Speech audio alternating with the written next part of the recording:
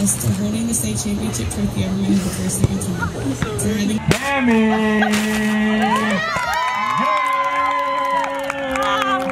Yantz wearing that number 13 jersey for the Colts.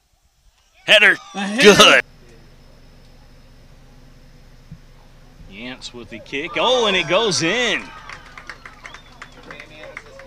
And she kicked that. That was uh, Kim Yantz, and uh, Kami Yantz on the goal. she for the hit that corner perfect.